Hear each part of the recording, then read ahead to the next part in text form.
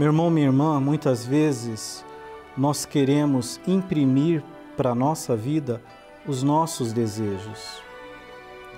Mas o que conta de fato, o que nos tornará verdadeiramente felizes, mais do que o cumprimento dos nossos desejos, é saber que o desejo de Deus se faz verdade na nossa vida.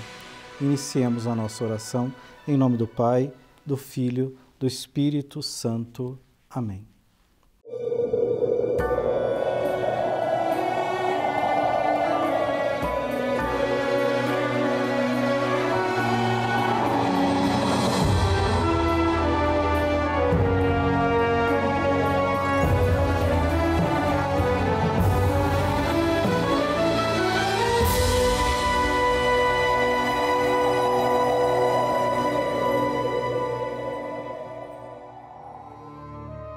Mas voltará pelo caminho por onde veio, sem entrar na cidade, oráculo do Senhor.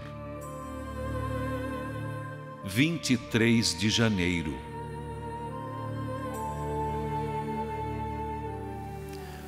Desviamos de Jerusalém e seguimos nosso caminho. E foram mais alguns dias de viagem e cansaço.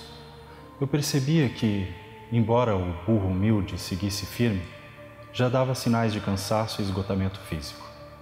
E também já estávamos em nossos limites, mas nada nos tirava a alegria que nos movia.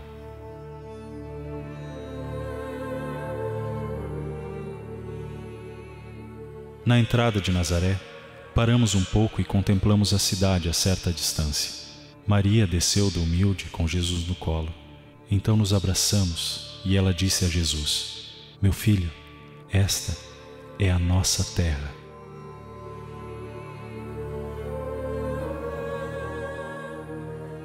Seguimos caminhando.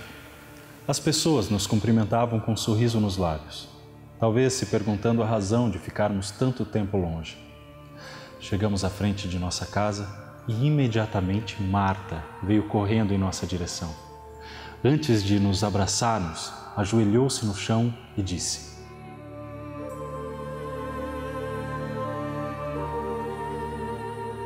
Louvado seja Deus que ouviu as minhas preces. Marta nos abraçou e tomou Jesus no colo, levantando-o para o alto e rodopiando. Jesus ria de tanta felicidade. Marta e sua família haviam recebido o aviso que demos antes de nos exilarmos no Egito. Por esse motivo, ela cuidou de nossa casa todo esse tempo.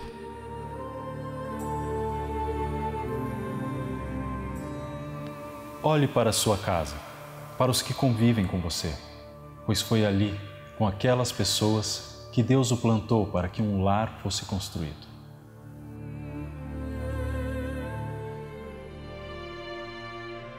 Meu irmão e minha irmã, reze comigo agora a oração a São José pela minha família, pela sua família.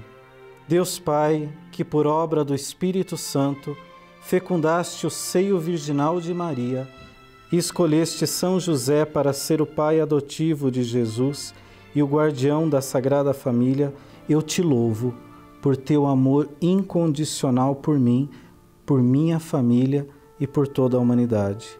Senhor, é a tua providência que rege tudo.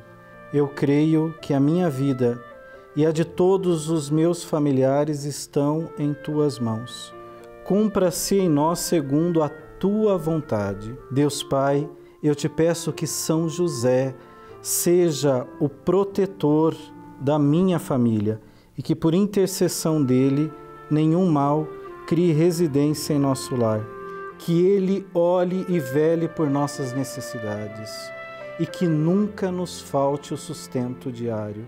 Que o espírito de divisão jamais habite em nosso meio e que em nossa casa reinem a harmonia, a concórdia e o respeito, e que essas virtudes possamos aprender com José, Maria e Jesus. Lembro-me agora dos membros da minha família. No silêncio do seu coração, lembre-se dos membros da sua família por quem você deseja rezar.